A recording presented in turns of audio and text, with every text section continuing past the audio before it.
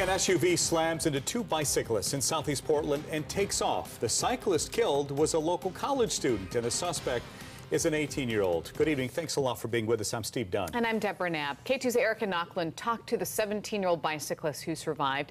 She joins us live where the crash took place, 87th and Division. So, Erica, how is he doing? Well, 17 year old Kevin Foma says he's sore, but he's doing okay. He and his sister are pretty emotional, thinking about what could have happened to him and what actually did happen to the other cyclist. They even came here late this afternoon to leave flowers here at the crash site. The damage to Kevin Foma's bike is minimal. His body now only a little sore. The memory of what he saw early this morning is causing him the most pain. Imagine I kind of hit the ground pretty hard. Um, after I just got on the ground, he just essentially just got back up just to see how the other guy was doing. Could you tell right away that he wasn't going to make it? Yeah, it was very, it was very grim. It was very morbid. The other cyclist, 28-year-old Dustin Finney of Portland, someone Foma didn't even know. I feel for the family of the other cyclist. Um, I'm also angry on how just people are, like how heartless people can be.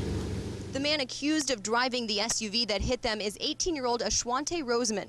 Police arrested him this morning on several charges, including manslaughter and driving under the influence. Foma says he could tell the driver had been drinking or on drugs. It could have been that they were just intoxicated and just swerving a lot. Otherwise, um, it did feel like um, the driver was directly in the bike lane. Other cyclists who come through here say drunken drivers are a constant problem. I just think that people just don't pay attention. They're having too good a time drinking.